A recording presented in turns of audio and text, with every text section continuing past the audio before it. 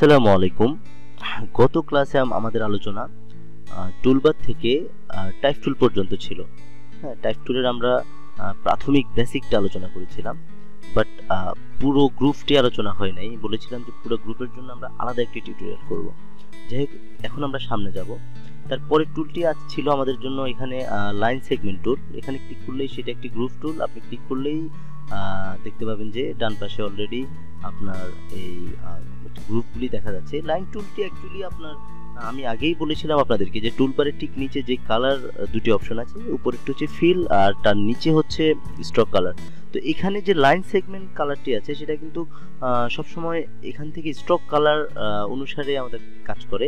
যেমন ধরুন আমি উপর থেকে যদি একটা লাইন নিলাম লাইন নিয়ে সাপোজ আমি এখানে একটা লাইন টান দিলাম। খেয়াল করে দেখুন যে এটা শুধুমাত্র আপনার এখান থেকে স্টক কালার নিয়ে লাইনটি হয়েছে। হুম। আমরা কোনো একটা ঘর করার জন্য খুব সুন্দরভাবে আমরা এই লাইনগুলো করতে পারি। যে কোনো একটি ঘর করার জন্য আমাদের ডিজাইনের মধ্যে যদি আমরা অনেক সময় বড় যখন প্রজেক্ট ডিজাইনগুলি করব, আমরা বিভিন্ন টেক্সটের টেক্সটের নিচে আমাদেরকে অনেক লাইন ইউজ করতে হয়। তখন আমরা এই লাইনটা ইউজ করতে পারব। এটা আরও অনেকভাবে ইউজ করা যায়। জাস্ট আমরা একটা বেসিক ধারণা রাখা যে টুলসগুলি কোন টুল কীভাবে কাজ করে। তারপর আসলে এখানে আস টুল এখান থেকে আমরা সেই যদি কালার চেঞ্জ করি, তাহলে তো একটু ভিন্ন কালার হবে। আমরা এখান থেকে কিছু টুল পাবো, যেটা হচ্ছে আপনার, একটু একটু ব্যান্ড হয়ে আমাদের আস টুলটি কাজ করে। সেটা আপনি যদি কালার অনেকগুলো কালার দিয়ে আপনি সেটা আপনার কোনো ডিজাইনে আপনি সেটা ইউজ করতে পারেন কমপ্লিটলি আপনার ব্যাপার। তো এই এই লাইন টুলগুলি দিয়ে আমরা যখন আমাদের টুল বা সবগুলি শেষ হবে, তখন আমরা অনেকগুলো প্রজেক্ট করব। তখন দেখতে পাবেন যে, প্রত্যেকটি টুলের ভিন্ন ধরনের কাজের ক্ষেত্রে ভিন্নভাবে ইউজ হয়। যখন আমি কয়েকটা কাজের ক্ষেত্রে কয়েক, কয়েকভাবে টুলগুলিকে ইউজ করা শিখে যাব, আশা করি তখন আমার আর কখনোই কোনো টুলের টুলসের কাজ নিয়ে কখনোই আমাদের সমস্যা হবে না ইনশাল্লাহ তো আসুন তাহলে দেখি তারপরে যে টুলটি আছে, সেটা হচ্ছে যে সেটা আপনার আপনি যদি শিফট শিফট ধরে কিবোর্ড থেকে শিফট ধরে এটা ক্লিক করে দেন তাহলে একটু অ্যাকুরেট ভাবে হবে। আর শিফট ছাড়া দিলে হয়তো একটু হালকা এদিক সেদিক হতে পারে। শিফট ধরে দিলে এটা অ্যাকুরেট ভাবে কাজ হবে। কোনো একটা আলপনা করার জন্য ডিজাইনের জন্য আমরা হয়তো এই টুলগুলি আমরা ইউজ করতে পারি নর্মালি হ্যাঁ। তারপর হচ্ছে আমাদের এখানে রেক্টেঙ্গেল গ্রিড টুল টোটাল একটা গ্রিড চলে আসবে। আপনি যদি এখানে আমি বিজনেস কার্ডটাকে টোটাল একটা গ্রিডে পরিণত করতে যাচ্ছি, তাহলে এটা অটোমেটিক গ্রিড হয়ে যাবে। এখানে আপনার গ্রিডের আনার পরে রেক্টেঙ্গেল গ্রিড টুলে যখন আসবেন, তখন যদি আপনি ডাবল ক্লিক করেন, তখন আপনি দেখবেন যে এখানে গ্রিডটি কতটুকুতে অ্যাপ্লাই হয়েছে। এখানে উইথ হাইট অলরেডি শো করতেছে। আচ্ছা তার মধ্যে এখানে একটু দেখেন, এক, দুই, তিন, চার, পাঁচ। আপনার তারপরে এক, দুই, তিন, চার, পাঁচ। হ্যাঁ এখানে মোট এখানে শো করতেছে যে অলরেডি সে পাঁচটি কলাম এবং পাঁচটি রোতে সেটা বিভক্ত হয়েছে। তো আমরা যদি নতুন আরেকটি গ্রিড নেওয়ার আগে যদি আমরা এখান থেকে যে হরিজন্টাল ডিভাই ডিভাইডার এবং ভার্টিক্যাল ডিভাইডার এখানে যদি আমরা অলরেডি দশ করে দিই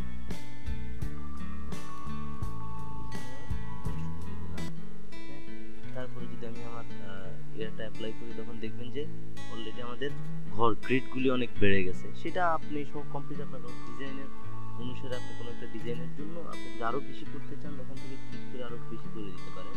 আমি আগেই বলে নিচ্ছি, যেমন আমরা এখানে এটা অ্যাপ্লাই করলাম। সিম্পলি এখানে যদি আরেকটা শেপ অ্যাপ্লাই করে দিই হ্যাঁ একটা শেপ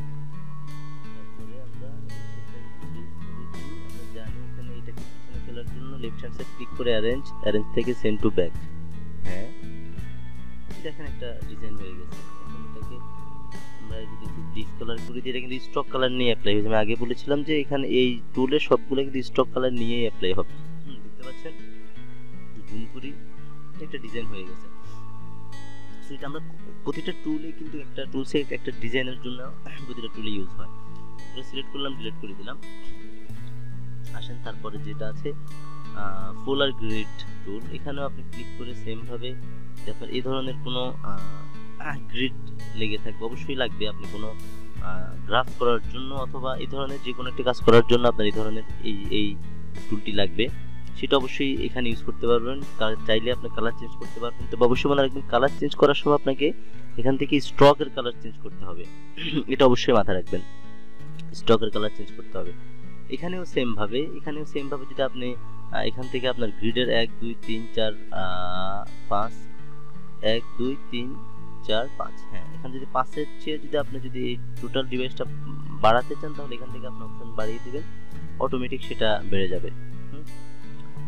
আসেন তারপরে যে টুলটি আছে আমাদের, সেটা হচ্ছে এখান থেকে আমাদের রেক্টেঙ্গেল টুল সেটা শেপ টুল এগুলো হচ্ছে কমপ্লিট আমাদের ডিজাইনের জন্য প্রতিটা টুল এক একটা টুল এক একটা টুলের সহযোগিতা করে থাকে।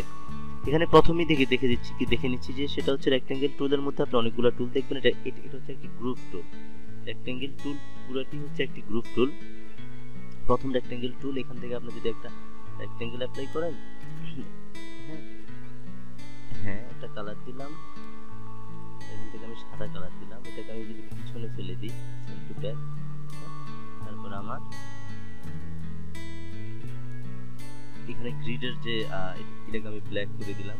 সাদা কালো একটা ইয়ে হয়ে গেল। অথবা আমি এটাকে কালার যদি একটু হালকা করে দিতে চাই হ্যাঁ তাহলে আপনি যে কালার যে প্লেটটি দেখতে পাচ্ছেন, এখানে ঠিক ডান পাশে কর্নার এখানে ক্লিক করলে আপনি এখান থেকে অপশন পাবেন। এখান থেকে গ্রে স্কেল গ্রে স্কেল মানে হচ্ছে সাদা কালো। আপনি গ্রে স্কেল ক্লিক করতে পারেন।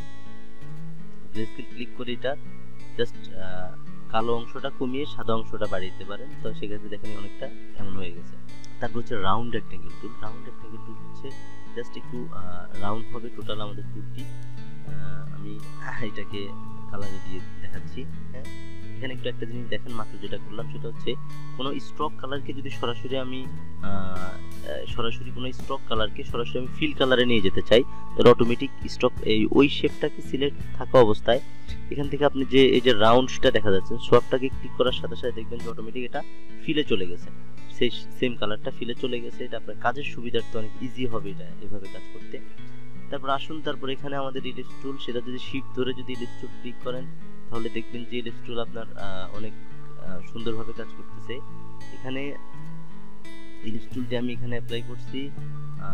এখানে আমি arrange send to back arrange send to back অর্থাৎ প্রথম অ্যারেঞ্জ করে এটাকে পিছনে ফেললাম, তারপরে মেইনটাকে পিছনে ফেললাম। এখানে একটা একটা জিনিস বলে রাখি, সেটা হচ্ছে এটাকে আমি কমপ্লিট খুব সুন্দরভাবে সার্কেল কীভাবে করলাম। আমি যখন এটাকে ক্লিক করছি, আমি এটা আবার ডিলিট করে দিলাম, যখন আমি এটা এখান থেকে ক্লিক করছি, তখন আমি কিবোর্ড থেকে অল্টা শিফট চাপছি। আগে প্রথম আমি ক্লিকটা স্টার্ট করছি। স্টার্ট করে অল্টা শিফট একই সাথে চেপে যখন মাউস পয়েন্টটা ড্রাগ করে বাড়াবো, তখন অটোমেটিক সর্বদিকে একই সাথে সার্কেলটা বড় হবে। এটা একটু খেয়াল করবেন। তারপর আছে কি আমাদের এখান থেকে পলিগোনাল টুল এটা হচ্ছে আমাদের কাজের সাথে এটা ব্যবহার করতে পারবেন।